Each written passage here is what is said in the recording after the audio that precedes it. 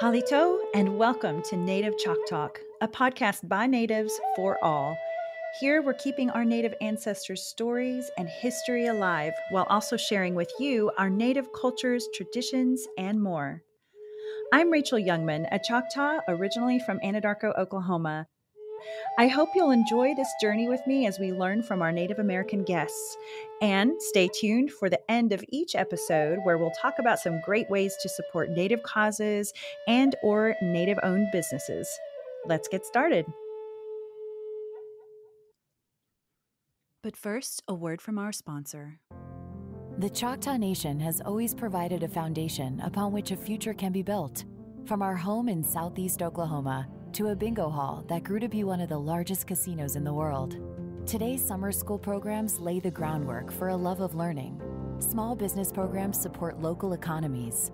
And with over 10,000 jobs created, Choctaw offers financial stability to tribal members and our neighbors. Together, we build success because together, we're more. On May 11, 2020, probably the most crucial case for the Native American community, McGirt versus Oklahoma, was argued in the Supreme Court. And by July 9th of the same year, it was decided upon that Creek, or what's now labeled Muscogee Nation lands, will remain Indian country via the Major Crimes Act. For all of us in the Native community, this is, for once finally, a big win. And yet it spurs many questions for those of us seeking to understand what it means for Oklahoma and what it means for the tribes. I should first start out by saying that Jim C. McGirt, a Seminole man named in the case that spurred groundbreaking change, was no hero. He was convicted in 1989 of child sexual abuse and then in 1997 of sex crimes against a four year old child, his wife's granddaughter, in fact, but he fought back, stating that the state of Oklahoma had no jurisdiction over him since he committed his crime within the boundaries of the Muscogee Nation, which would be federal jurisdiction under the Indian Major Crimes Act. By the way, because since the state's conviction was withdrawn, the federal court then needed to rule. On August 25, 2021, this animal, Jim McGirt, at age 72, was sentenced to life in prison. I hear he's been in prison complaining about the food being high in sodium and carbs and not being a comfortable setting, bless his heart. Okay, so I have so many more questions about the significant court ruling, as I'm sure do some of my listeners. What does this mean for the state of Oklahoma and for Native individuals? And will Oklahoma now have reservations? So I'm bringing in the real experts. Let's get some answers straight from our chief, Gary Batton, and Kara Bacon, prosecutor for the tribe. Chief and Kara, it's great to visit with you again here at the Choctaw Nation of Oklahoma. Thanks for making time for me and helping our listeners understand this crucial decision. Well, halito, Rachel. Halito, Rachel. Thank Halito. you for having us. Yeah, thank you so much. And by the way, I have to admit, Kara and I are kindred spirits because she actually lived in my hometown for a while in Anadarko, and we look alike. So there's that too. kind of crazy. All right, so let's go back just a bit and paint the historical picture. Would you guys help us understand the history of the former Oklahoma reservations and what many of us know as trust land? Sure. Well, I mean, one of the things when you think about the history of the, the Choctaw Nation, when we signed the Treaty of Dancing Rabbit Creek, when we came from Mississippi to Indian Territory at that time, we had fee patent title, which is the best title you can have. It was on United mm-hmm. States Choctaw Nation of Oklahoma. We owned all of this property in south, the southern part of the, the state now that was, and what this has proven is that land was never disestablished. That reservation was mm-hmm. never disestablished. It's still in that same status. And I think that's really kind of thrown everybody for yeah. a loop because they don't understand. But it's more than just the land itself. It's about jurisdiction. I think people are getting jurisdiction and land confused. Mm. It, this ruling says that our reservation was never disestablished, so we maintain the jurisdiction now, land ownership and so on is a completely different situation. And I always like to explain to people, they actually own their own land, but in the state of Oklahoma, in the state of right. Oklahoma, in other areas outside of our reservation, they have jurisdiction. So it's the same concept. I, I hope people can understand it. And this hmm. ruling was in specific to just the Major Crimes Act. So when you think about murder, you know, rape, those types of things, those are the issues. Now, when we start talking about civil, you know, that those are the things that we're going to have to yeah. look at into the future and see how this really impacts the Choctaw Nation and the, the remaining part of the people that reside in our reservation. Yeah, because that was going to be my next question is what does it mean for Oklahoma, but what does it mean for the individual? Let's say I'm on Choctaw land and I commit a crime, probably stealing Dr. Pepper from the Piggly Wiggly. But what would have happened to me before this case was decided versus today? Well, one of the things I think that we always have, which I don't know if people really understand, the, the reservation, which is a fee patent title, but then there's also what's called tribal trust land, which is land held in trust by the United States of America for the tribe, the Choctaw Nation. Mm-hmm. And then there's also what's called individual allotment of land. And so, like, for example, my grandmother received 160 acres and my grandfather did. We still have that original allotment of land. But the point being is back then, uh, prior to, we still had our court system in place. Now, maybe not at the level, well, it definitely wasn't at the level it is today, but if you were caught on uh, tribal trust land, for example, and you were a Native American, then you would be prosecuted in our court system or by the federal government. And where and, did that change? Well, it's never really changed. What I think what this has clarified is now that every Native American in our reservation, in our jurisdiction now, mm-hmm. will either go through our court system or through the federal court system. Now, the issue really becomes, though, is a non-Indian that's doing something illegal in our area. Then, of course, that's where we done we have done cross deputization with all of our local law enforcement and so on, so that they shouldn't have to worry about public safety. Should be number one. So it should be you capture whoever's committing the crime and then you determine jurisdiction. So if they're a Native American, guess what? They come to our court system or go to the federal court system. If they're a non-Indian, and of course, Kara can describe more specifically, and I know I'm being very broad, but a non-Indian committing just a crime against another, another non-Indian, mm-hmm. that falls under the state. So okay. they would get prosecuted the same way, but for some reason, people have made this, and I believe personally that our governor of the state of Oklahoma has made this where it's trying to be chaotic we have not let one case go through that has not been prosecuted. Mm-hmm. Nobody at that time was released. Now they were released from the federal government potentially or the state custody. We immediately picked them up under our custody, like Mr. McGirt. yes, he, like he Mr. Never, McGirt. Yeah, yeah, he never and he left was prosecuted and. And so, but the thing is, people want to believe that there's lawlessness going around. That's just not the case because Kara and them worked I mean, hard. I can't remember how many cases did you file? Within the first week, we filed over 200 cases. Wow. Um, just to make sure that people who were incarcerated uh, remained incarcerated and they would either be processed through our tribal court system or through the federal court system. Okay. And I think Chief's right. I mean, uh, you know, one of the, I think the most impactful parts of that decision was Justice Gorsuch saying, you know, on the far end of the Trail of Tears, there was a promise. And I think every native um, that read that felt like, hey, it's about time. The U.S. government is going to be held to the treaties they made with our First Nations mm-hmm. uh, when they removed our peoples from their homelands. So I, I think for all of us, that was very moving. It was never about getting criminals off. It was more about recognition of tribal sovereignty. And yes, I think yes. that that's what we miss. And I think that's what Chief focused on early on mm-hmm. when he mm-hmm. said, I don't want people to get out of prison who've committed crimes. And, and oh, he, he made yeah. sure that we started a Sovereignty for Strong Communities Committee. Kind of had the fortune of watching what the Creeks did mm-hmm. and, and to see, you know, some of the pitfalls they ran into and try to make sure that we didn't fall into those same pitfalls yeah. by having cross deputization agreements. He said, I want you to work with your state partners. I want you to reach out. I want to make sure we have our cases. And I think we did that here at the Choctaw Nation to make sure that we were prepared when our Sizemore decision came down in July. Or Good April, point. sorry. And, and I think, you know, last time I was here, you were saying goodbye to the chief of the Creek Nation. He was on his way out. I was like, oh, okay. So it's really neat to see that you guys probably get together often, right? Or, or at least oh, have conversations. Well, we have conversations just about every week, if, yeah. and uh, and so we talk about what's working, what's not working in yeah. our areas. And of course, I think everybody will say the cross deputizations work really well. Yeah. And however, for people that are confused about it, we do have certain areas that they do not want to do a cross deputization with us, and they'll go, "Well, look, this Native American is going free." Well, guess what they did? They went to, I had that situation, I had a call from a sheriff this weekend where a guy had gotten shot in the face. They were debating whether to, to do something to that person because he might be Native American. I told him, you need to arrest the individual that's responsible for this. We'll determine jurisdiction after that.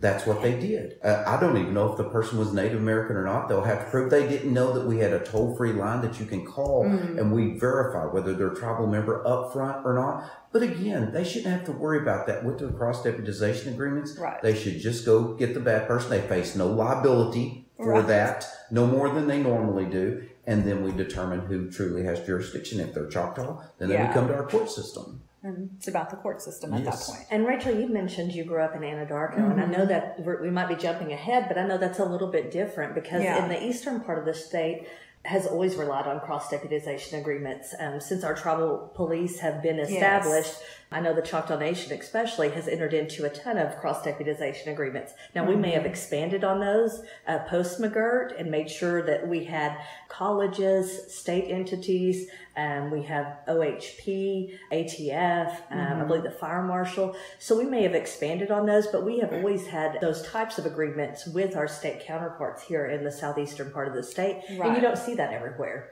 I no, know you rely, no, right? you, you rely on uh, BIA police in other areas that I've worked in Oklahoma. And so it is a little bit different. And it's been an adjustment for everybody in Oklahoma to understand because not every place in Oklahoma has these types of cross deputization agreements, but they're not uncommon. Uh, in fact, they're fairly common. Most of the major, or the larger tribes, the five tribes utilize and mm-hmm. have utilized these types of agreements to make sure that citizens are protected, regardless of who responds. And this is five civilized tribes country over here. And again, Anadarko is more like Kiowa, Comanche, Apache, Caddo. So. And you know, it's been interesting too, Rachel, that we've hired 60 law enforcement officers since McGirt. We, oh, we wow. had about 20 already yeah. that had already worked through cross deputization agreements, and we've always assisted those communities. But now with us having 60, that's put 60 more additional law enforcement in mm-hmm. all these counties that the people love because yes. now they have more coverage, they have more backup, they have more resources yeah. if they're willing to use them. Right. Now the problem is a lot of times they will not use us. And because they want to do it, like I said, oh, that's a Native American issue. Let's let them handle it. It uh-huh. means that if we're off uh, an hour away, then we have to show up or something like that. But if they will work with us, uh, matter of fact, that's what we did with this sheriff. We just like, let us sit down and, and walk you through our processes to make sure you verify that you do not have to question anything. You get to handle the situation up front and then we'll help you on our in regards to whether it's uh, tried at our court or it's at, at state mm-hmm. court when we talk about major crimes, there's a misconception that the tribe does not have authority to prosecute major crimes, and that's not correct. Okay. When we talk about exclusive jurisdiction for major crimes, that's speaking to the state, exclusive from the state, that the federal government has exclusive jurisdiction from the state to prosecute major crimes. Tribes have always had the ability to prosecute major crimes. We've not been limited in our ability to prosecute. We've been limited in our sentencing authority. Okay. And so prior to 2010, tribes were limited in up to a year or up to $5,000 for any type of crime, whether that was murder or a larceny. Yeah. Um, and so there wasn't the incentive to prosecute a major crime. Now, some nations have. I think the Navajo Nation is one that has always prosecuted major crime because their land base has been so large mm-hmm. that when the federal government would not file or decline to file a case, they would do something. But after 2010, I think around Indian country, there was concerns that um, people were not being prosecuted appropriately mm-hmm. when they did commit crimes and the federal government did not act. And so they expanded, they created what's called the Tribal Law and Order Act, and that expanded jurisdiction to tribes who opted in, and they had to ensure certain things that you had uh, the rights, due process rights, mm-hmm. basically that are afforded under the United States Constitution. Right. And had to ensure that everything was on the record. And it gave tribes enhanced sentencing power for up to three years per felony charge and up to $5,000 or up to nine years per count. So yes. in one case. So that gave all tribes a little more incentive to prosecute major crimes when there was a declination at the federal mm-hmm. level. Mm-hmm. But just, I think it's, it's very interesting, Rachel, that uh, for me anyway, that guess who limited us on this ability to sentence? The federal government. I guess they thought that we were not capable of sentencing more than three years at a time. That's a law that desperately needs change. I mean, if we want to, to give somebody the death penalty, uh, that's up to our people. But, but if we chose to, that should be our right to choose Yes. that, not the federal government telling us that we can only give a person that's committed rape or murder only three years and, and consecutive up to nine years. To me, that's ridiculous. Absolutely. So we're uncovering so much here. I mean, there was a lot more to this the- than I even thought. Yeah, and I, I think the limits on sentencing power are so antiquated when you look now at the technology and, and you look around at the type of facilities we have. Mm-hmm. And um, I really think it's an antiquated way of thinking to think Yeah. that tribes can't handle that sentencing authority or can't handle that power. Well, and I'm excited too today because I'm going to be able to tour the judicial center that you have over here. Um, what is that the term for it? Yes. The, the building over here. Okay, so and it's a newer facility, right? I Yes, we're- matter of fact, we built that prior to McGirt. Oh, you did? And, and that, just to let you know, that was part of as the chief.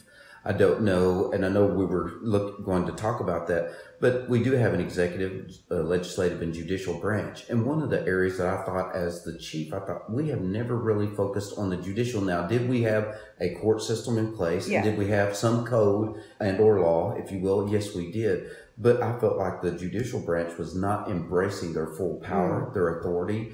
And so uh, that's the reason why we built this. Well, we actually had court at Tuskahoma, and then we expanded Oh, it to Talihina, and then it got too small. And then we was build this new court, uh, our judicial center, which is state of the art. You can file electronically. You can do so much more than the county courthouses and so on. So it was our effort, and I'm just fortunate I, uh, that it turned out that McGirt ruling came, and then we're poised and ready. Talk about vision. Yeah, well, I don't know, know? if it, it was that, that or blind luck, one or the other. I'm not sure which one it was, but but it, we were just very fortunate to have it in place, though. And then, of course, we were able to have uh, judges. And then, of course, we uh, we had already started on legal and compliance on the executive branch side, so we were able to. We already had uh, about twenty attorneys on board with us, and then, of course, we had law enforcement in place. So it was easier for us to expand Mm-hmm. and grow into where we are today, as opposed. I could only imagine if we would have had to start from scratch, we would have been. Oh, yeah. We would still be struggling right now.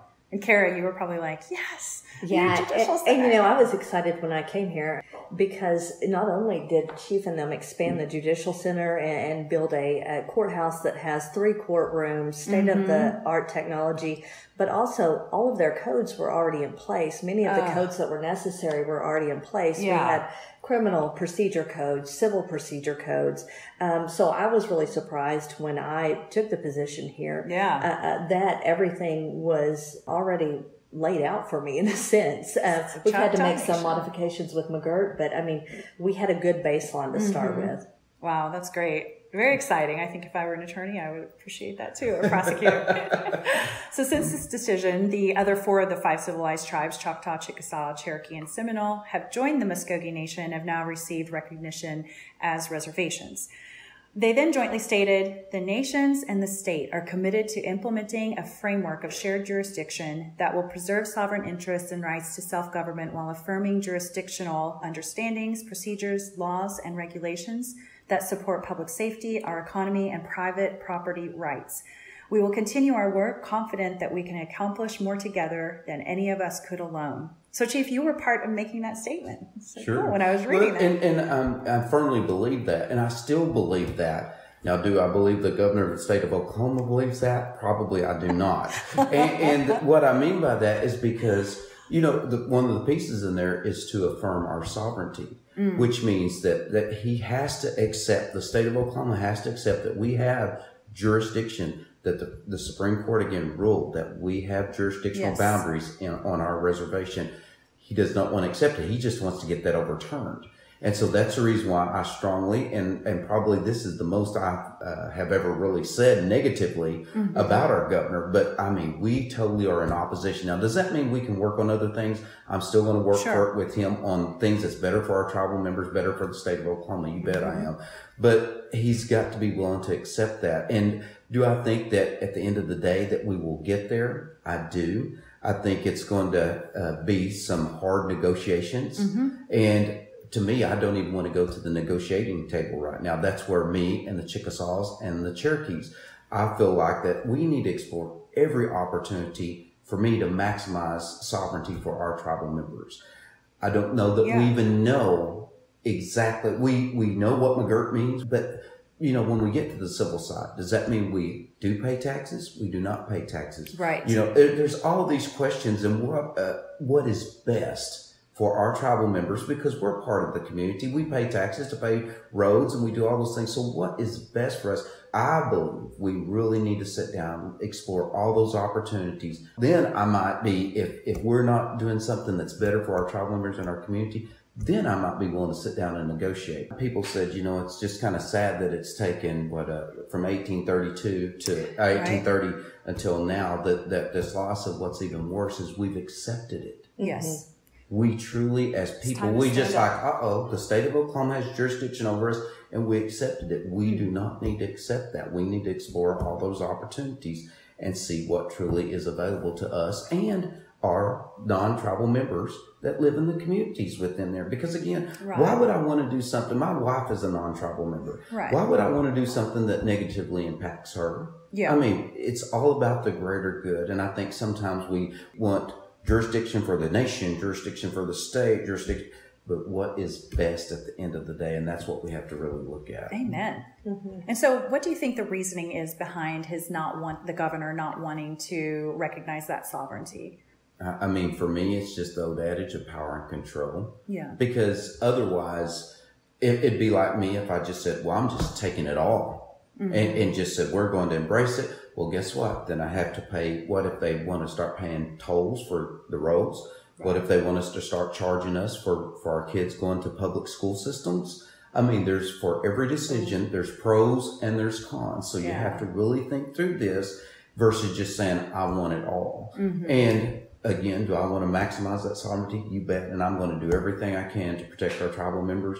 But there are certain things that you have to say, this is not good for the greater good of all. And Right. that we just have to weigh those out. I bet our chiefs of yesteryear are looking at you right now going, You got this. Whatever it Exactly. is, we got your back. well, can you imagine though that after all that time that they fought, all the people that's died and everything else, and then me just going, oh, let's turn that over to the state. I just, I think that's that's would be really unfathomable for me to do that. and do you think that the other tribes are kind of where you are right now too, where they're like, okay, let's hit pause for a second?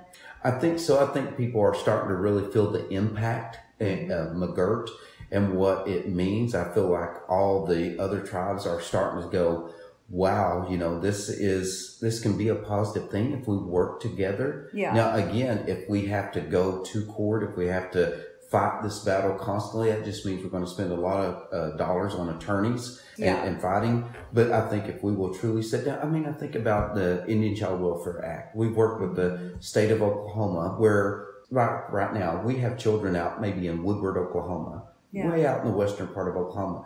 We do not have anybody stationed out there. The closest place we have somebody is Oklahoma City.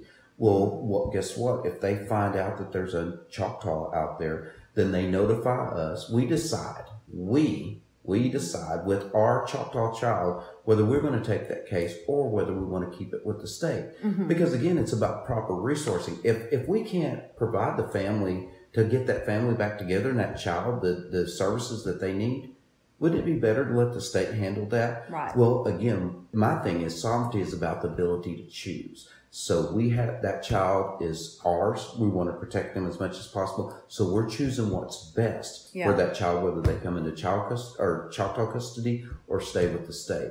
But again, th- there's things like that. We signed that agreement uh, probably what three months ago or something like that. And uh, there's things like that that we can work out because again, if you look at resources, manpower, what works best, that's what you have, what's best for our Choctaw people, not what my ego wants to grab. Oh, don't you wish that were on a national level? You know, like say maybe some of our politicians out there think about what's best for the people. I, that's just such a crazy concept. Yes, it is. Well, thanks for helping us get to the bottom of this. As tribal members, we need to know this information. The chief has taken time out of his day to help us all understand. So there's no excuse now, y'all. We need to educate ourselves and stay informed. Now let's shift gears a bit. There are some out there who don't understand the branches of American government, much less the way tribal government works. So since we're on this exciting legal kick today, perhaps you can help us out with this too. So Kara, I'm excited to ask you about this. If the branches of American government are similar to the way the tribe works too, there's the chief, like the president, there's the assistant chief, like the vice president, and feel free to take it from here and maybe explain it to us much better than I can. So we have our tribal council, which are our legislative branch, and they pass our laws. They also control the purse strings. I have to go make... to them to get approval from for the annual budget. Oh, make sure you're good friends with exactly. them. Give, give them some and, and lunch. they are supposed to voice or be the voice uh, or representatives of the members within their districts. Okay. Whether they live outside of the district or whether they actually live in, wherever they're registered. Mm-hmm. Then we have our judicial branch, and our judicial branch has a district court and an appeals court. Okay. And then we have a constitutional court. And the constitutional court answers questions regarding the Constitution. And so that is made up of a Chief Justice and then two non attorneys. So the United States Constitution no, or the Choctaw The Choctaw Constitution? Constitution. Okay. Yes. Yeah. So, say, for example, Rachel, that I disagreed that the legislative body were going past their power of authority. Yeah. Mm-hmm. I would go to the constitutional court and say, we're asking you, petitioning you to make a decision on whether I'm right or whether I'm wrong. And okay. they would make the ruling and then that's, they would, we would have to live by whatever their ruling may be. Interesting. And so, Kara, when you went to law school, do you, you, studied the U.S. Constitution and the Choctaw Constitution? So we studied the law and how to approach the law and how to analyze the law. Yeah. But in law school, I also taught, uh, took a lot of courses in federal Indian law, so I understood oh, okay. the tribe's unique status to the federal government, yeah. and then how tribes were self-governed, how they were a political subdivision and not a race-based organization, mm-hmm. which I knew because I was Choctaw growing up. Yeah. Um, but uh, you know law school teaches you how to apply the law and, and, how to look at the law and how to make understandings. I did not really get into the to the weeds with the with the Choctaw Constitution until I started working here. Okay. I knew the branches of government. I, I, generally knew, but I didn't understand all the powers and duties and how we are a little bit different from mm-hmm. the state court mm-hmm. and the federal court, especially in our judicial branch and our tribal council and in name. One of the unique things that you won't see in uh, the U.S. Supreme Court that we do have here is we have lay members, non-attorneys that are part of our constitutional court, which is kind of interesting because yeah. they bring a unique perspective to that when they're applying the Constitution. So we have two lay members and then one attorney member. They're all members of the Choctaw Nation. And then we have an appeals court and we have a district court. And the district oh. court is where most of your crimes will take place. Just like at the state level, they have a district court, which okay. is where you have your divorces, your custody, your um, guardianship, your mental health, and your criminal cases. Okay. So we only have one appeals level. Makes sense. And one thing, Rachel, I want to make sure that everybody understands is our Constitution, of course, we regained our Constitution in 1983. Mm-hmm. And so if you can think our, our tribe is fairly new mm-hmm. again from that perspective. But, uh, you know, and I'm going to kind of summarize this, which means that as the chief executive officer, the chief of the Choctaw Nation, I run the day-to-day operations of the Choctaw Nation, make decisions uh, based on the best for the Choctaw Nation our uh, legislative body, our tribal council, as uh, Kara was saying, they do approve the budget every mm-hmm. year. And then they're, uh, they're also responsible for passing laws. Now, do I concur? Either I have to concur with the law, I can veto the law. Mm. Now, if I veto it, they can override my veto with uh, seven out of the 12 votes. Okay. So they can still pass law even if I disagree with them. And then the judicial branch is mainly for interpreting laws that the tribal council and I have passed and or just the tribal council has passed. So my point being is there's balance in that power. I mean, a lot of times people think tribes, you know, as the chief, you just get to do whatever you want right. to do. There's always, I can't, I can't do anything unless council approves still that budget. Body. I still have to have their approval before I purchase anything, acquire anything, do any operational. And then even if I did something illegal, then the judicial branch has to monitor all of that. Same thing with the council, judicial. If they did, I mean, the legislative body, if they did something illegal, then I could go to the judicial branch, make sure that they're held accountable. So there's a good uh, part of checks and balances in regards to our constitution as a whole. For sure. So, I mean, there's still a governing body. Can't just go out there and set up snow cone stands all over the place. Exactly. Well, I wouldn't. I wouldn't be opposed to that. I think uh, one of the things that's interesting, though, for most tribes, and I think it's it's a, a, just a new mindset for our tribal council. When we were doing our strategic planning this year, I asked them. I said, "So, what laws are you considering passing for this coming year? What do you think is mm-hmm. critical mm-hmm. for our Choctaw people?" Well, a lot of them hadn't really thought about that because you know we have fish and wildlife. We have mm-hmm. air. We have environmental issues. We have food. Mm-hmm. You know, all these things. We do have codes for those, but do they need to be clarified? Do they need to be expanded? You know, because we're going to be responsible with this McGirt ruling. Yeah. I always say with great responsibility comes accountability. So somebody gets sick at our casino who checked out the food. We have to verify that we okay. check that out. Somebody has a chemical spill at one of our travel plazas. We can't say state, go check that out we are going to be responsible mm. and accountable for doing those things. And so that's where it's costing us on the executive branch is to make sure that I just don't want to say, oh, sure, we'll take this. And, and, we want to make sure that we're a sovereign nation. But oh, if you slip and fall or if you die here, that, oh, too bad. Uh, you can't right. do that. You right. have to be accountable. You have to be responsible. We have to make sure that people are safe mm-hmm. in our environment, in our jurisdiction. Absolutely. And one so of, that's one of the things the Sovereignty for Strong Communities um, task force that Chief implemented has done is looked at the codes prior to the Sizemore decision, which is the decision that found that the Choctaw Nation reservation boundaries were not disestablished. Okay. And we have updated mental health codes, Chief. We've updated our criminal codes. I mean, and, and you know, just like the state of Oklahoma and, and the federal government are constantly making amendments to codes, we're mm-hmm. doing the same thing now. We are actively looking to make sure there aren't holes that people uh, yeah. slip through, that there's not um, deficits in our code. So it's it's really important, and it's an exciting time to be at the Choctaw Nation and working here oh, and, yeah. and, working on those projects. Oh, I bet this would be you know, a dream for someone working for the nation right now to be here at this time. And to me, it's a great time to truly partner because even just like um, our prisoners, mm-hmm. well, guess what? We don't have a prison. So oh. we have to, we contract with all the local uh, counties and some cities to make sure that they house our prisoners. So people don't think about things like that. Yeah. They don't think about, well, we have juveniles, mm-hmm. that there's a problem. Well, if they're mental health, where, what mental health facility? Those right. are the things that we have to truly accept and, and assess to see where we're at. Is it something we need to build or is it something we can partner, mm-hmm. not just with the state, but with private entities? You know, whatever it may be, so that we can make sure again to meet the needs of our people. So you're going to be super busy over the next few years, and you too. I think it's it's already started, but I, I don't know that uh, tribal members really grasp, mm-hmm. and, and, people in general. I think we've been colonized for yeah. so long mm-hmm. that we've accepted that this is just the way the system works, and yeah. so we have to get past that. We have to think outside of the box. I mean, and I apologize, but I always call it part of our court system peacekeepers. Mm-hmm. You know, mm-hmm. I wanted a peacekeepers court, which uh, basically what it is is I think that people will do better adhere to mm-hmm. policies, procedures, law if somebody that they respect is telling them what to do. And the yeah. peacekeepers is our court system where it's of our grandmothers, grandfathers that's telling them, why aren't you paying your child support?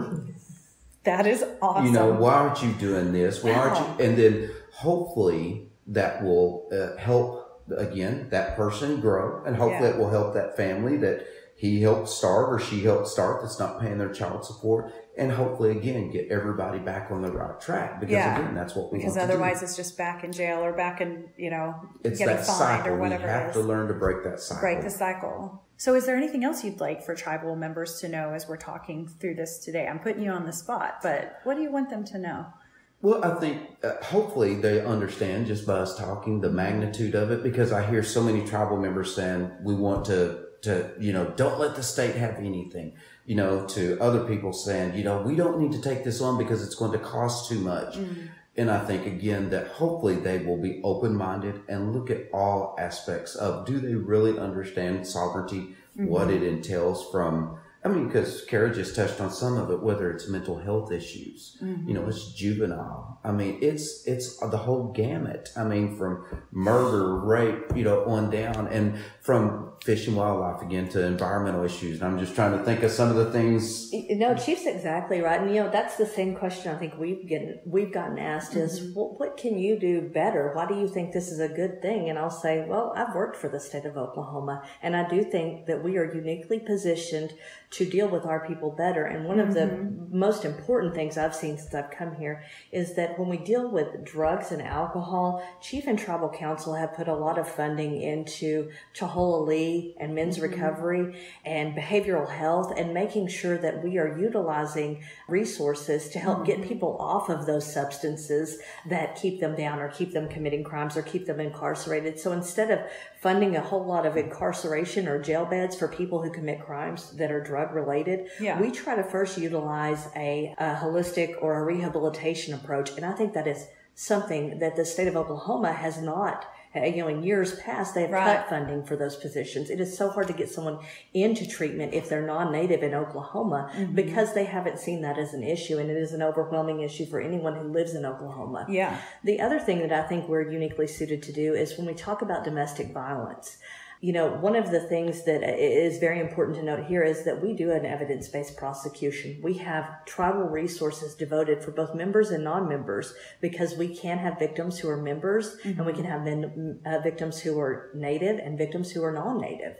If the offender is, is native, we will prosecute and we can prosecute non natives under our special domestic violence jurisdiction. So we have resources that will help victims of domestic violence or intimate partner violence, transitional housing needs, getting them groceries, helping with utilities, helping get them in a place where they are secure enough to leave that relationship that's volatile.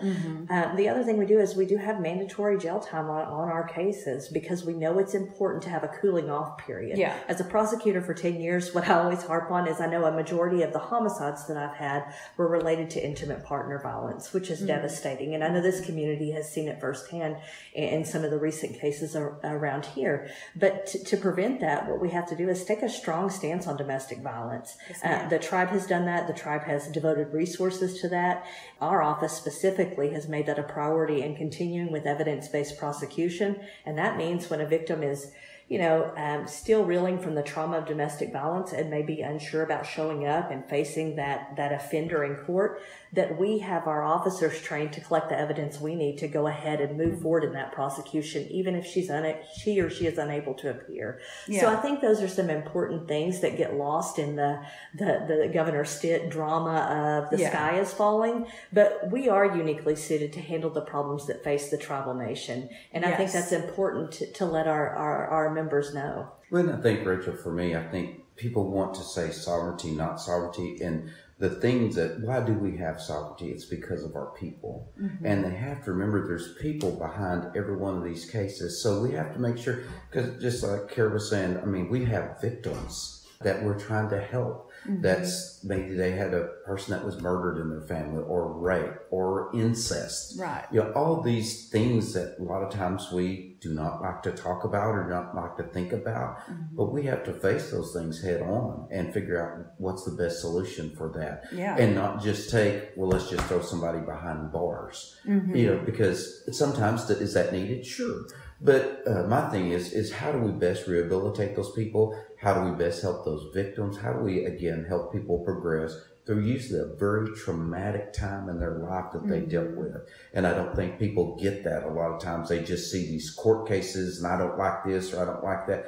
But there's really people behind every one of those cases. It'd be, I'm really curious to see if you could put a per capita comparison between the state versus the Choctaw way of, you know, handling things. You know, is there, are there better results on this side of the fence with what all those programs you're talking about? I hope so. I mean, I hope at the end of the day, that's our goal is that we have better results. And, and I, I, you know, I've told our court system that I wanted to make sure that we're the top one in the United States. I want to be better than the Yes. federal government. You know, why should we accept anything less?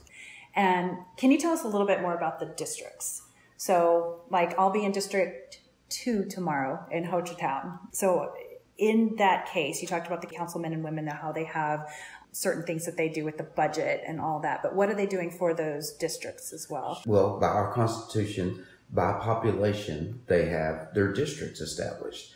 And now, again, that's within our reservation. If you live outside of our reservation, you choose which district you wish to be affiliated. So you actually get a little bit more of a benefit because you get to choose who represents you. Oh. You know, now don't get me wrong. And what I mean by that, so if you're in District 2 in Northern McCurtain County, you only get to vote for that people that's running for that district if you go, well, I live in California, I decided I want to choose District One, mm-hmm. Three, you so you get to choose and vote for your your council person. But their their main goal is to be an advocate for those people in that area. So they they deal with all the tribal members. They know their issues. They hear their concerns. They advocate. They bring those to our strategic planning process, mm-hmm. and work. That's where we go back to working together between what I hear that our tribal members need, what they hear, and then we develop our strategic plan, and then we have a budget that we submit to them that hopefully supports everything that tries to meet those tribal members' needs. Yeah. And, but then also they're responsible for, like we said, the, the laws for those areas. So they're mm-hmm. they're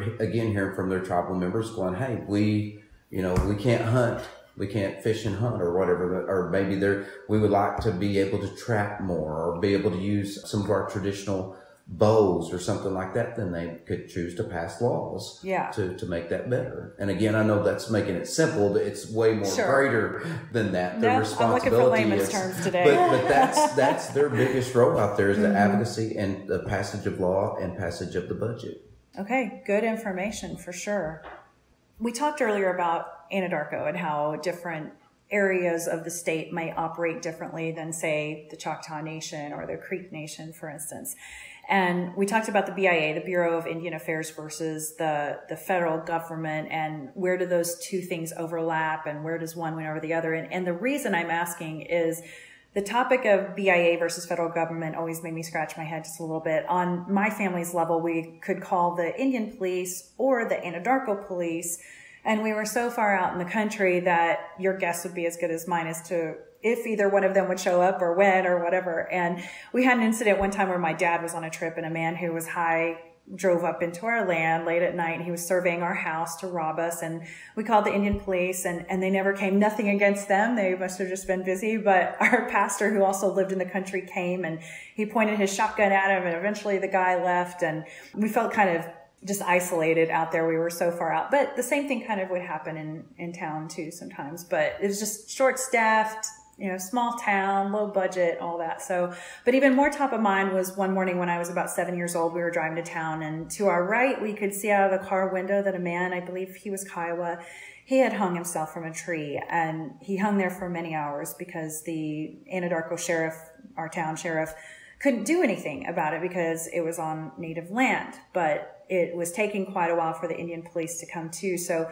we went to town and came back a couple of hours later and he was still hanging there. It's so sad. But we grew up around that sort of thing. And although it was devastating, we were also just kind of used to it. So I don't know that that story came to mind when I was trying to sift through the differences. And I think that you answered a lot of that, but but anything else you'd add to that conundrum? So I would say in your situation that you're speaking to, I think that is why we don't have those types of situations because we have these cross deputization agreements. So when you said yes. the Anadarko Police Department couldn't respond to that, if that happened here with one of those, you know, 55 agencies that we're cross commissioned with, and that list grows by the day, so I could be a little off wow. on that, but um, then they could respond mm-hmm. and tell tribal police, and they could take action until they learned that the, you know, could, because what we tell our police officers when we're going through these uh, cross commission or answering questions are, this covers you so that when we talk about jurisdiction, that's for judges and attorneys to figure out, not for you. Exactly. Just take care of the situation. that's for you to respond to yeah. the safety concern as you need to, and then turn it over to us, and we'll figure out if it needs to go to the federal level, if it can stay here, if it mm-hmm. needs to go mm-hmm. to the state court.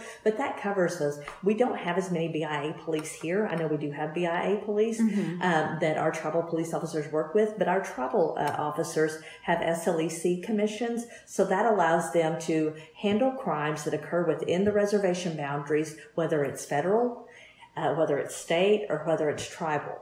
um, Okay. through Yeah. those cross deputization And, and Rachael, I don't know if you're very uh, familiar with self governance or compacting, contracting. No. See, we as the Choctaw Nation, we compacted from the federal government many years ago. For example, I was over the health system, so we compacted the health system back in the uh, mid 80s. And so, which means that we took it from them and said, we'll run it, we'll do it. So, Yeah. most of all of those programs, BIA programs or Indian Health Service programs, if you don't, guess who runs it? The federal government does, which is BIA and so on. So that's the Gotcha. reason why we all always have had our Choctaw law enforcement, Mm-hmm. and we haven't had a lot of BIA law enforcement in our area. Yeah. because we felt like we could meet our needs of our people better Mm-hmm. by doing it our our own way, and that's what compacting, self governance, sovereignty is all about. Yeah. And so if I saw a Choctaw police, does it say Choctaw police on the car? Yes, or, yes, yeah. it sure does. Very Okay. identifiable. And then a, let's say there's a Choctaw member that something's happening in their home and they need to call for the Choctaw police. Do they call 911? Do they call y'all? Or Yes, they call 911. That's what we want to stress to everybody. Okay. You Call call 911. 911. You call 911. Okay. And through those cross deputization agreements, they're going to send out a first responder. Exactly, you know, okay. it doesn't matter whether you're native, you're still an Oklahoman. Even if you're a Choctaw Nation tribal member, you're still an Oklahoman. Uh, you Gotcha. still might be a resident of, of the city of Calera or Coalgate or wherever. You call 911 when there's an emergency. That's what we don't want to stop. Yeah. Um, once they assess the scene, they get to the scene and they figure out, oh, this might involve a native. Mm-hmm. Then they can contact our dispatch. They all have those numbers. We've given those out. Um, they will verify immediately if they are a member, but you proceed with, w as Yeah. normal when you have cross deputization agreements. That's the great thing about them. You proceed as normal. You you work the investigation. You involve tribal police if you need to, and then they turn it over wherever they see fit, where, whether it meets criteria to come here or the state or the federal government. Well, Yeah, and Rachael, great. that's where I guess again, I, I know I get my anger up a little bit, and what I mean by that is just so Governor Stitt, well, gave the example. Well, somebody called nine one one, and they asked if they were Native American, and they said yes, and so they didn't respond. Well, guess what? To me, that is so bad upon that law enforcement or that fire department because again, you shouldn't be call if you call 911, you shouldn't be asking if somebody if they're Native American, Hispanic, black, or anything else. Take that off the Take that process chart. information. You go respond to the incident, and that's the reason why those cross deputizations are so critical because it takes away all the jurisdictional issues. Mm-hmm. You go and you take care of that situation, and you you help that individual Yeah. or family. Yeah. Then again, as Kara was saying, then jurisdiction comes into play. If it's a criminal thing, then who does it go to? Does it go to city, county, state, federal? That's been happening for years. I mean, that they've always decided: uh, are they in the city limits? Are they in the county? Is it state? You know, or is it federal? I mean, to me, it's just unbelievable that people would go. Oh, are you a top ten most wanted? But but uh, but oh, but you're Native American. Oh, I'm sorry, we're to let you go then. Someone's You got a knife to your throat. Well, tell me, what tribe are you? Exactly. I mean, and, but that's how bad that it is, and that those people, all people, we have a responsibility as the Choctaw Nation government, as a any city, county, state government, Mm-hmm. federal government, we have a responsibility to respond, and everybody should respond, or I would sue them in a heartbeat. Hello, taking care of our tribal members. Yes. So yeah, so that's great for our tribal members to know. You call nine one one if you have a problem, and you will be taken care of, and everything else will happen on the back end that also needs to go from there. So If they ask you if you're Native American, that's a bad sign immediately. yeah. So there's the Child Welfare Act, and then there's this McGirt versus Oklahoma thing. Has McGirt affected that Child Welfare Act in any way? So yes, uh, and in preparation for that, the five tribal leaders were really great about being prepared for everything that they anticipated could have happened when that decision came down. So the reason that McGirt impacted criminal law and Indian child welfare is because of the language of Indian country in federal law. Yeah. Um, it describes that it's all lands within the reservation. And that language is used not only for the Major Crimes Act, but also used for the Indian Child Welfare Act when it defines reservation boundaries. Okay. Um, and so, because tribes have exclusive jurisdiction over Indian children within reservation boundaries, it did it would have affected that, and it did affect that. However, like Chief has, has been saying throughout this podcast, that you know historically the Choctaw Nation and, and, tribes have been great about partnering with their with the state government, city governments, and, and making sure that we're looking out for the welfare of children, families, natives. Mm-hmm. And so tribal uh, leaders met, and the Choctaw Nation entered into a compact through under the Indian Child Welfare Act, you have the ability to compact with the state and, and make sure that families are taken care of mm-hmm. within states, within tribal boundaries.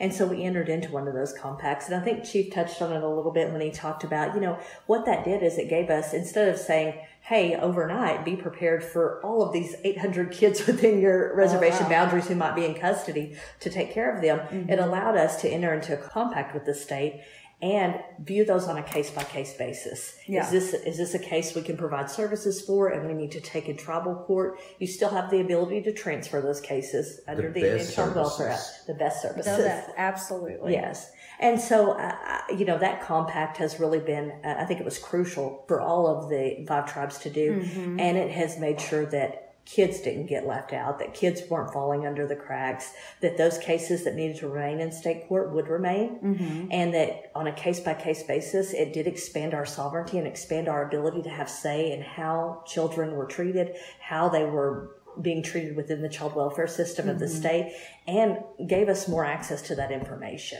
Wow, and, this must be such a win too to be able to take care of your own tribal children as well. But you know, those compacts just show how well we can work together yeah. when we leave our egos behind and just yeah. look out for the best interest of Oklahomans and natives alike. Absolutely. That's very exciting. You know, when we were talking about jurisdiction earlier, I'm trying to think of what questions would tribal members have because I am one and I have a thousand questions on this. So when I first started reading about this, I was thinking, oh, does this mean we're going to have reservations as in you know it's sad to say but there are reservations out there that have horrible living conditions is that what's going to happen to people who live in those districts and all that but when you said it's about jurisdiction more than anything else that really kind of helped paint a good picture for us of what all of this means. You know, we debated whether to use a different terminology than reservation because most people, when they think of reservation, they think of the western part of the United yeah. States, Navajo Nation, for example, which is land based reservations versus jurisdictional reservations like we have here. And I think that's really confusing to people. And again, the reason why my assumption and what I've seen in some of the study that we've looked at is a lot of times one is geography is tough for people. That's when they're on a reservation yeah. where there's no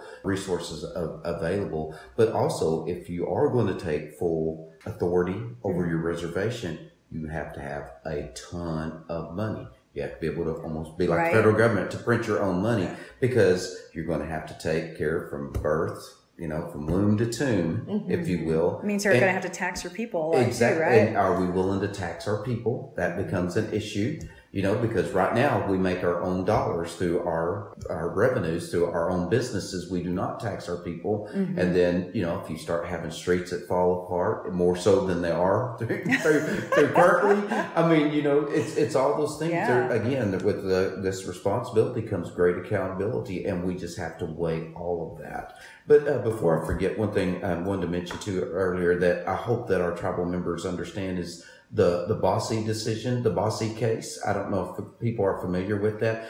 In the past, there was this uh, understanding that because of the the McGirt ruling, that this would apply back to you know years, hundreds of oh, years, retroactive, uh, retroactive. And the Bosse case has ruled that that is not the case. Okay, that it's only from the date that the, the law went into place. And I, am using my terms, not a legal yes. term. But yes. Kara, you may want to expand. Yeah, and, and, the Bosse case was up on appeal on cert, and then this decision came out that was Wallace v. Matloff, and basically it says that if those convictions, if the sentence is expired, so you know they said all of these people are going to be released from like 20 years ago. Oh my gosh. No one will have jurisdiction to prosecute. What they said was once that conviction is final, you can't come back and attack it. That's what the oh, state of okay. Oklahoma courts have said. Hmm. And so those, it really cut down on the amount of cases we looked at getting overnight. Oh my those those people who are incarcerated are not going to be released on post conviction relief applications is the big thing to remember. Okay. And so it's only going to be those cases that were pending at the time. And I think that was huge. I think it really undercut Oklahoma's argument that the sky is falling, everybody's getting out of jail, uh, you won't be able to find victims because it's only applying to a limited amount of cases that were pending at the time that decision came down. Okay, So that's kind of decreased some of my anxiety at least because I know I I'm bet. not getting thousands Well, of and- cases. And for, for me as a tribal leader, I know I had seen it with some of our tribal members. And Hmm. what I mean by that is some of those people, their family members had been murdered. And Oh. so they were having to go through trial again and having to relive that murder No. and, and or rape or whatever it may be. And that was really devastating to the family. So I could have said again, that's what I, I keep harping about tribal members. I hope they really understand. I could have said, we're all sovereign. We want to take on all those cases and make our families go through and live through that horrible experience again. Or could we just say, hey, this law is good. Let's Yeah. go ahead. Those people were convicted. Let's go ahead and let them remain convicted under that law. And that's what they ruled. And so, and I'm very thankful that they Oh, did. absolutely. And, and Chief, you and the other, uh, it was it all five of the chiefs that signed Yes. on to a brief that actually was in support of the Yes. state keeping those cases. oh, wow. And so I think that that's really important to note that Chief and the other tribes, uh, Mm-hmm. the other five tribes, did sign off to a brief supporting that, and, and that the and they followed your guidance and That's and great. found that it was it was not retroactive to those All in cases. agreement on that. Yes. So much here. You know, there's one, one question I, I've always wondered, and I think I looked it up one time. I'm embarrassed to say I don't know. How many terms does a chief get? We do not have term limits in the Choctaw Nation of Oklahoma. Uh, we've always felt like the people will decide term limits. So, Okay. which means that uh, if, if they don't like the job that I'm doing, then they will they'll elect a new chief, and and so on. Yeah. And so we've never had uh, that happen. And so I don't know. There may be a point in time when our tribal members feel like there needs to be term limits, and they'll they'll vote on it. And if they do, then that will be the law of the land. That that's what Yeah. will happen. The, the the tribal members also have that. There's two ways to amend like the Constitution or change law. That is Mm-hmm. either they can do a petition, and uh, which has to be I think one half of the people that voted in the last chief's election, Yeah. or through our tribal council can propose a constitutional amendment. So if they want to propose something like that, that would be their choice. Okay, good to know. Thank you. You know, the one thing is I, we get asked a lot about is protective orders because Okay. it's quasi criminal, quasi civil. Yeah. And, and that's something that I've let, you, you know, it has already been addressed. And that's a lot of things people worry about or things that have already been thought of and addressed. Right. But uh, protective orders have been an issue with domestic violence. And so VAWA, the legislation I talked about earlier that gave us the special domestic violence jurisdiction that allowed us to prosecute non-natives depending on their relationship status with natives, that, that also addressed protective orders in Indian country. Okay. And so it's not going to change your protective order. Your protective order is still valid because under VAWA that was signed, signed in 2013, it said that tribal government, states, and the federal government, everybody will give full faith and credit to other protective orders Yeah. that are validly issued. And so that, I think that was a big thing we got at first is a lot of people, uh, victims of domestic violence were concerned about whether their protective orders would be valid because they were issued by a state entity and they were tribal. Mm-hmm. Yeah. And yes, they are. Good to know. Yes, yes. So rest assured, those who have gone through that process, it still stands. And Yes, that's a common question we get. One of the things I thought was interesting, Rachael, that I think we need to clarify for our tribal members and, and viewers as a whole is that I, I guess I expected people, which it's good that they don't really don't know the state's court systems and they don't know tribal court systems. And what I mean by that is, Right. and do you mind, Kara, just talk about? I think we we will say district court. Okay. You know, we'll say criminal court. You know, uh, I don't know that people really understand what is the dividing line between that, between civil and criminal and so on. Do you mind explaining Yeah, that? no. Yeah. So here at the Choctaw Nation, we have a civil jurisdiction. You have to opt into that. Okay. So Okay. McGirt didn't affect that. If you wanted to have a divorce here and you were non-tribal, you could waive Oh. jurisdiction and ha- if you had a tribal member that you were divorcing and, and enter into our civil jurisdiction. But for criminal jurisdiction, that's what affected was affected by McGirt. And Yeah. Do you mind just, I don't Oh, think sorry. people understand just the simplicity. What is cases under civil? So criminal jurisdiction is going to be anything that you can go to jail for. Okay. So traffic citation, misdemeanor cases, or felony serious crime cases. Yeah. That's going to be your criminal jurisdiction. Civil jurisdiction is going to be divorces, uh, suing somebody for money. Um, the other type of civil cases are deprived action. So when the, there's government intervention and they remove your child, that is a civil action. Okay. Even though the prosecutor's office is involved in that, that's still a civil action. Um, and then we have a quasi civil uh, civil case, which is your delinquent cases. Uh, delinquent cases are not really criminal, but they have a criminal component. Yeah. you did something wrong, and and you need to go to the court system to see what we can do to to to rehabilitate this juvenile. So when we talk about civil jurisdiction, we're mainly talking about suing people, divorcing people, or something of that Right. nature, or seeking a protective order. That would be a civil type case, and those are the types of cases that can be handled in the Choctaw Nation courts. Yes. The other types of cases that are handled in the Choctaw Nation courts are criminal cases.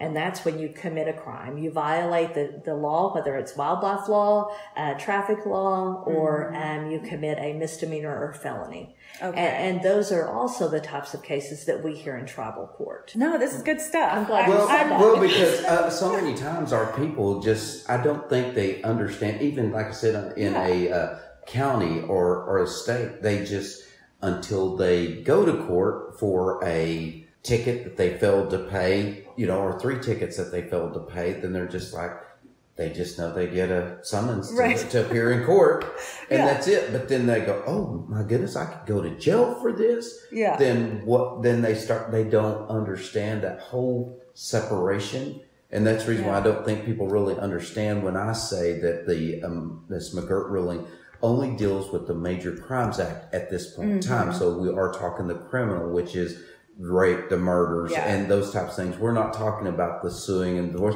Do we have that system in place? Yes, we do. But like we've talked about taxation, all those types of things. I mean, what are how are we going to handle it? I'm, for example, we partner with some of our cities right now. Mm-hmm. Say that they give a person a ticket and they're a tribal member. They will come to our tribal court, but then we remit portion of that money back to them. And so back to the districts real quick. How many districts are there? 12. 12 districts. Okay. Can you name some of them? Is it still Pushmataha and Oh, well, like no, that? no, we have just districts one through 12 Oh, now. okay. And so when we came across the, the Trail of Tears, we had three districts at that time of Okay. Apukshunnubbee, Moshulatubbee, and Pushmataha.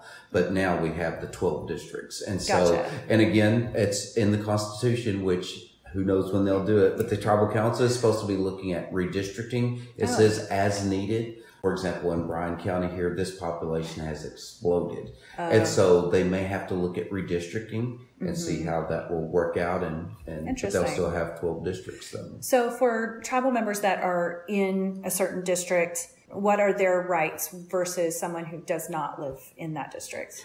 Well, virtually. a district. Well, uh, if you live within the Choctaw Nation, I mean, you're eligible for all services. Uh, if you, even if you live outside now, typically the only time that there's restrictions is if it's money from the federal government because they restrict those dollars to usually your reservation. Yeah. But all the tribal programs that we have funded, typically I think about emergency services, higher education, housing programs. We've made all those programs nationwide because it's dollars that the Choctaw Nation has generated and put into it. So we can that. establish our we can establish our own guidelines. Yeah. I remember when I was in college, I used to get the commodity food, the commodity cheese. Yes. I had so much of it. Isn't I it would, so good? Oh, it's so good. I want some of it. It's so good. And I don't know why. But, you know, it comes in that brown box. I remember sometimes I, I would get so much of it as one person in college that I would just put a bow on it and give it to, you know, a cousin for Christmas, you know, Merry Christmas. But, but I would, I was in Weatherford at Southwestern Oklahoma State at the time, and I would drive somewhere out there, way out to go get those commodity foods. And it was not the Choctaw Nation that I was getting it from. Right. So there's cases like that where people can be, or my sister, she goes to uh, a non-Choctaw hospital for when she has needs. So can you explain to us why that works that way, how that works? There's like this intertribal helping other tribal members, right? Well, it's partly that's who we are as people, but it's also the federal how we get receive federal funding. So when we receive federal funding here within our Choctaw reservations for all Native Americans. So like our Okay. health system, our commodity program, it's for all Native Americans. Oh. Now we can give preference sometimes to uh, to in certain programs to our tribal members, Mm-hmm. but then there's times that we can't. And I know that's where people get so upset because Mm-hmm. you know uh, maybe a um, contract health, which is where you go to our health system, then you get referred out. Well, it may be a Chickasaw that lives in our area that they got referred out, but it's because they had a heart attack. A Choctaw may got, have gotten re- referred out for just a heart cath or something that maybe not as serious Mm-hmm. and it didn't get funded. And it's hard for people to understand and explain that that prioritization is really based according to the federal funding. It Yeah. has nothing to do because typically, again, if it's tribal funding, we can definitely give preference to our tribal members. Mm-hmm. Gotcha. Okay. And I love that, that if someone is in need, they can go to any tribal facility and, and get some help. So, like, uh, if there's Choctaws, there's about 10,000 Choctaws that live in Oklahoma City. They go to the Oklahoma City Urban Clinic up there. Okay. And so they're able to receive services now. Do they receive as much services probably as they do here in the Choctaw Nation? No, they don't because they don't have a hospital for one thing. Okay. They just have So a it's whatever is available. It's whatever's available that Indian Health Service, the federal government, provides for that area. Well, and I will say it certainly helped me when I was able to get my eye care, dental care, health care when I was in college. And, you know, I paid for college myself and had three jobs. And, you know, when I needed stuff, I, it, it was great to know that I could go get that help. And I'm sure a lot of people do appreciate that. So thank you both so much for this helpful information. And now I'm off to take a tour of the Choctaw Nation's new judicial center. But before I do, what goes on in the judicial center? On a daily basis, people are coming in, filing paperwork, filing protective orders, and we're having hearings almost every day of the week now. Yeah, wow. We are having either civil hearings, juvenile cases heard, guardianships heard, or we're having criminal cases heard.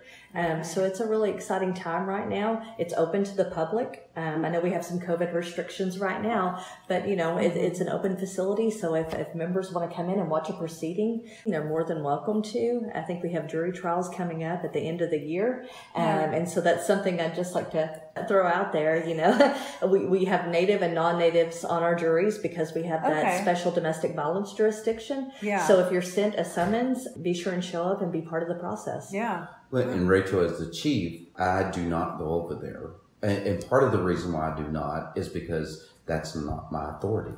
Okay. I mean, Makes I don't want to start going over there where people go, well, hey, I can go to the chief. not meaning just from a political perspective, Yeah. but I do not. One of my goals is it is again, if it's going to be the best judicial system, it's they're able to make their own decisions Unbiased. unbiased. And Yeah. so, last thing I want is for me to walk in over there, a tribal member that I may know, either a victim or for or uh, being uh, on the other side of the table, Mm-hmm. is I do not want to go in there and go, why aren't you helping this person? Why aren't you doing this? Yeah. Because then I'm affecting the court system, and which Makes is sense. not the role of the chief of the Choctaw Nation. That's the judicial system. So Yeah.